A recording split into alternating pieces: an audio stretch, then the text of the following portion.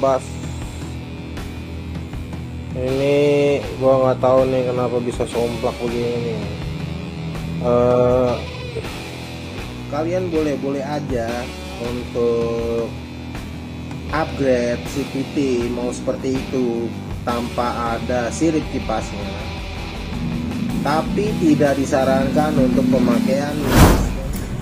Halo ketemu lagi di M4 Vlog Marwan di sini hai hai hai hai kita sudah mulai kembali beraktivitas seperti normal setelah yang pulang mudik mungkin yang sudah mulai beraktivitas seperti biasa, mulai kerja lagi, mulai ada yang sekolah lagi.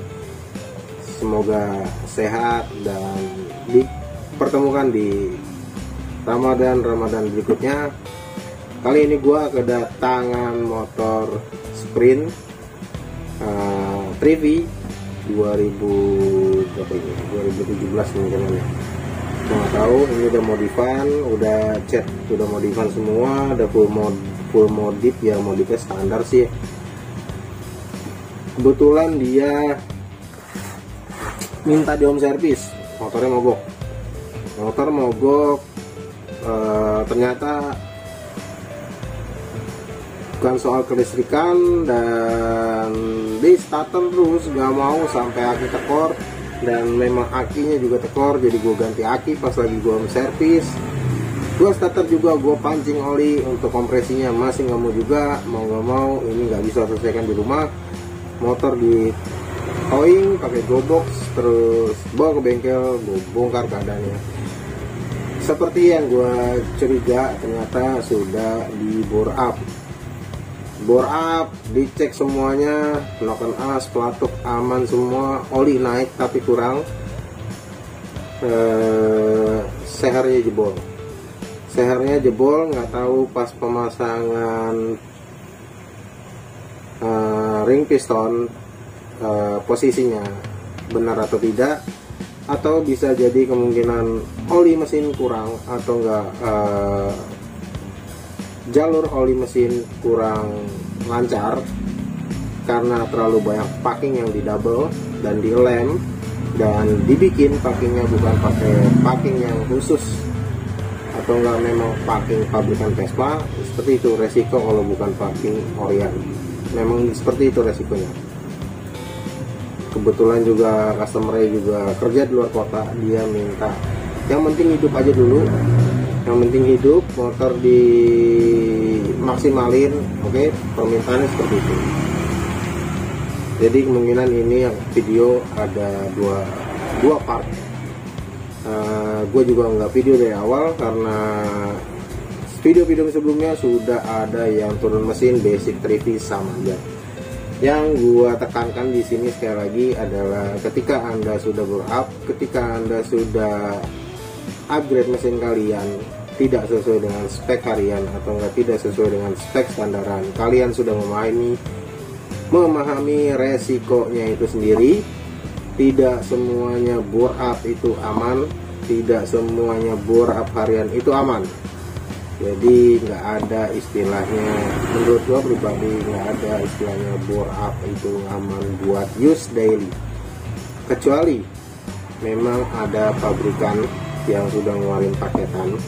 Dan itu pun uh, harus dimodifikasi lagi harus disesuaikan lagi dengan kebutuhan hariannya.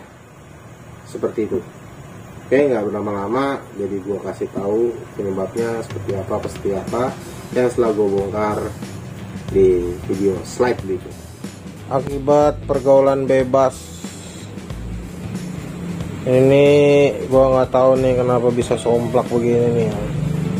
Uh, biasanya karena olinya terlalu kental mungkin oli nggak bagus. Kedua ketika pemasangan nggak dicek lagi jalur oli. Ketiga karena dia banyak banget pakai packing bikinan dan lem packing. Nah tuh lihat tuh masalah lem packing packingnya di lem terlalu banyak dan mengakibatkan pressure oli itu berkurang alias bisa mampet. Jadi buat kawan-kawan sekalian jangan karena cuma mau ngirit biaya atau enggak press budget sampai packing kalian harus dilem terlalu banyak. Packing dilem sih sebenarnya nggak masalah tapi nggak rekomendasi banget ya. Apalagi kalau misalnya kecuali kalian dalam keadaan arjan atau dalam keadaan emang motor balap. Ya kalau motor balap kan dipakainya hanya sekelebatan ya. Nggak nggak pures harian maksudnya pemakaian harian ini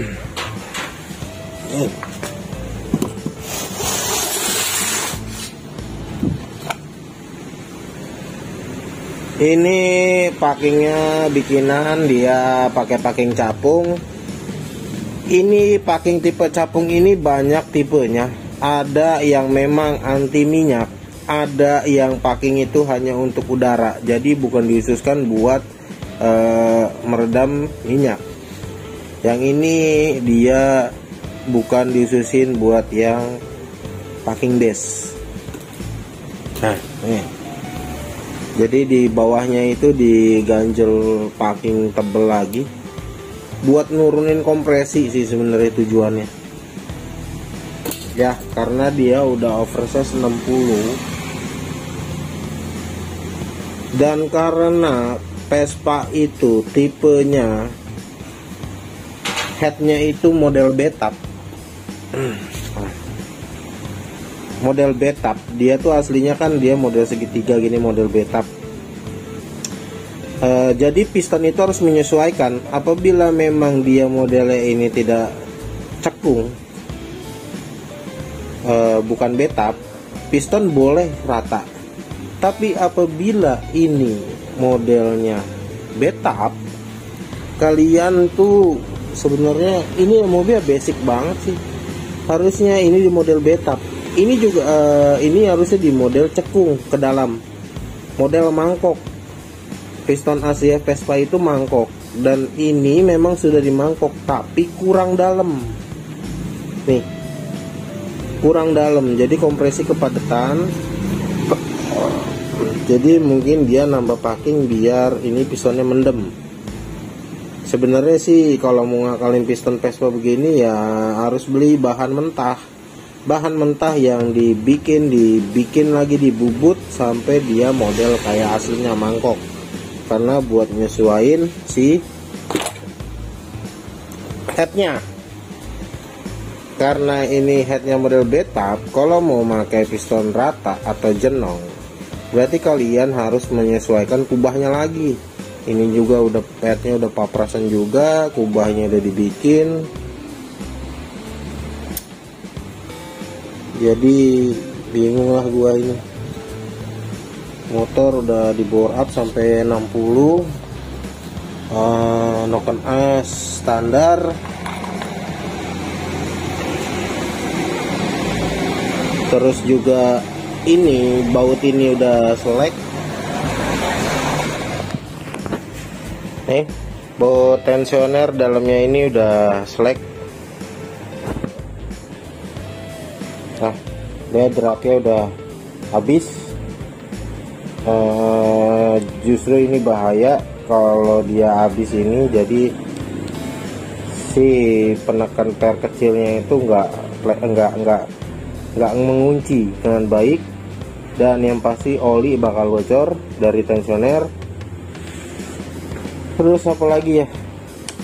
Ehm, masalahnya ini eh, ini dia motornya. Anu motornya udah ABG-an banget ini motornya. Nggak tahu lah. Dia tujuannya memperingan ini. Hilang. Kalian boleh boleh aja untuk upgrade CPT mau seperti itu tanpa ada sirip kipasnya tapi tidak disarankan untuk pemakaian use daily. Ketika kalian memakai untuk use daily pendinginan untuk area CPT dan area engine berkurang. Karena sirip kipasnya fungsinya buat membantu mendinginkan menurunkan suhu biar ada anginnya sepoi-sepoi ya kan? Tujuannya adalah memperingan memang tapi salah tempat kalau dipakai just daily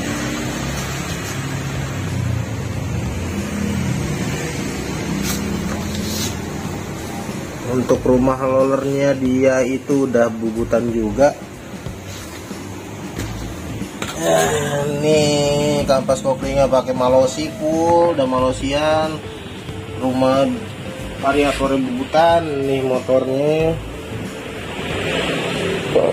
jadi ini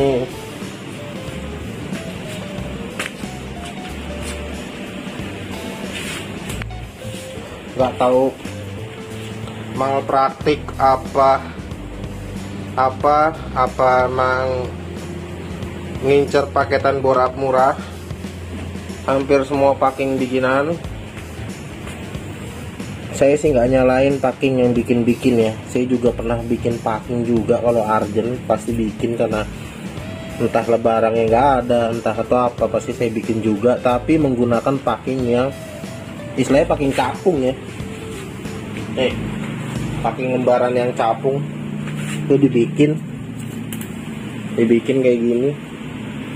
Packing capung ini juga ada banyak tipenya. Ada yang 0,4 mili ada yang satu mili dan ketahanannya beda-beda. Ada yang memang untuk high temp ada yang memang anti buat minyak. Jadi dia seperti packing standar nih. Packing standar kan seperti ini. Ya ini kan anti minyak. Dan lifetime itu eh, lifetime ini lumayan. Lifetime ini cukup. Cukup kuat itu.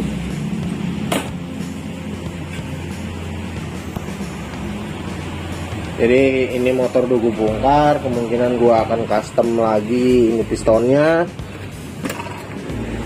Karena ini motor juga kata customer yang mau dijual lagi.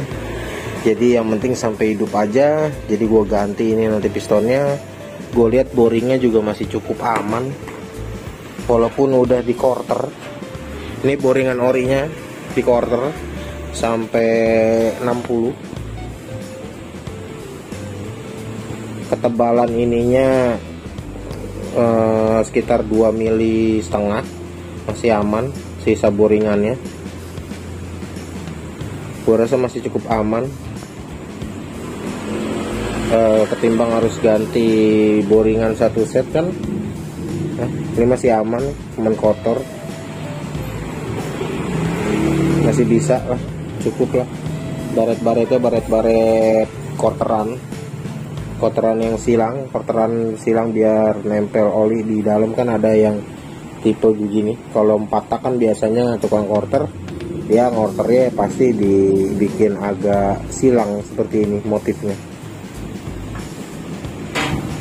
Nanti ini gua rakit lagi ini juga camnya standar kalau sepenglihatan gue ini kayaknya standar.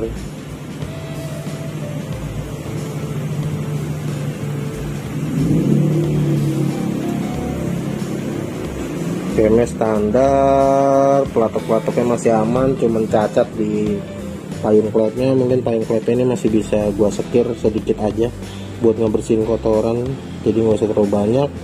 Nanti ini gua rapiin sedikit. Biar nggak uh, nabrak angin gua rapiin sedikit. Gua sekir. Eh ya nih gua nggak tahu apakah memang bengkel nggak tahu atau seperti apa. Semua klip-klip yang di sini. Mana ya jadi gue nemuin kemarin begitu ngebuka. Nih soket injektor dan soket suhu dia itu dilepas besinya gitu. Gue bingung padahal ini cara ngebukanya hanya ditekan. Nih. Cara ngebuka ini hanya ditekan seperti ini. Ditekan baru ditarik gitu. Ini akhirnya soket injektor gue ganti.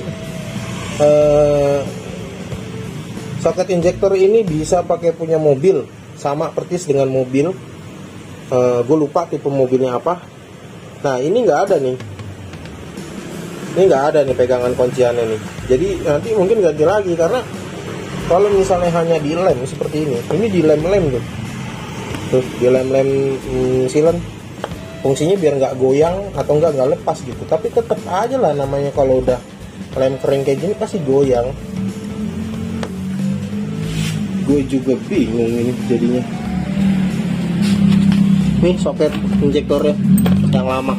Oh soket injektornya juga di lem-lem tuh. Ini udah nggak ada besi semua. Padahal cara buka itu hanya ditekan sebenarnya.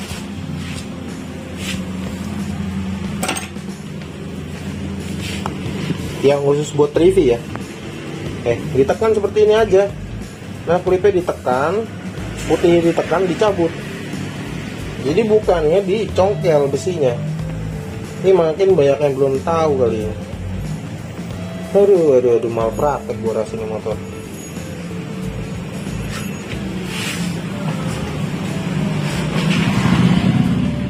Oke kalian udah saksikan videonya itu adalah beberapa part video yang gua uh, sorot yang gua rekam ketika sudah membongkar dalam keadaan mesin terlepas dan terbongkar bagian blok head boring udah gue lepas.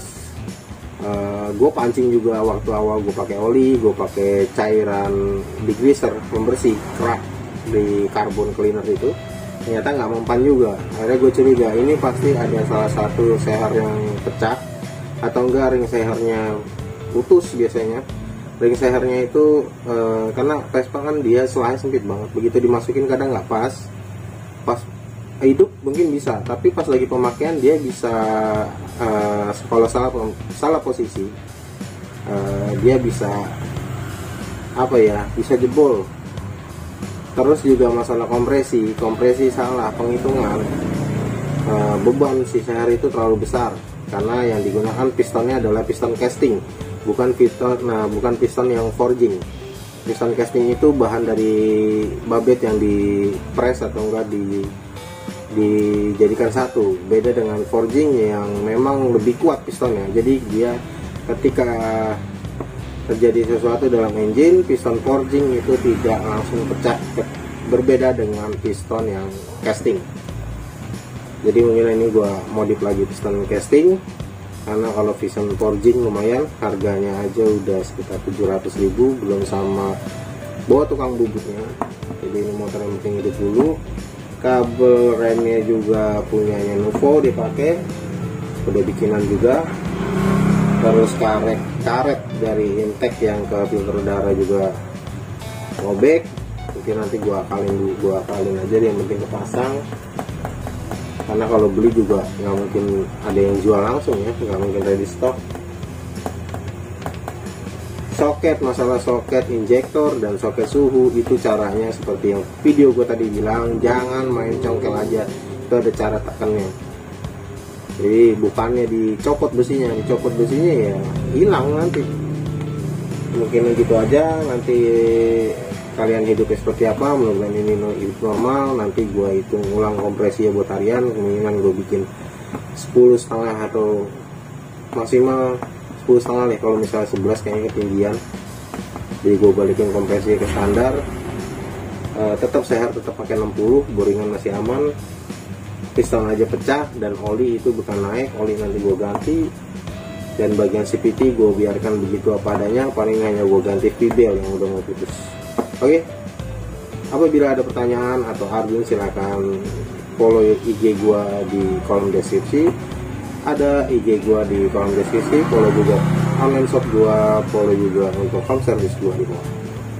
Kalau ada pertanyaan mohon tulis pertanyaannya lengkap karena gua juga bukan paranormal yang bisa nebak-nebak motor kalian itu rusak seperti apa gua harus tahu track recordnya seperti apa. Kalau misalnya mau lebih pasti kalian bisa konsultasikan juga BDM di IG apabila gua nggak sibuk banget gua senggang pasti gue bales.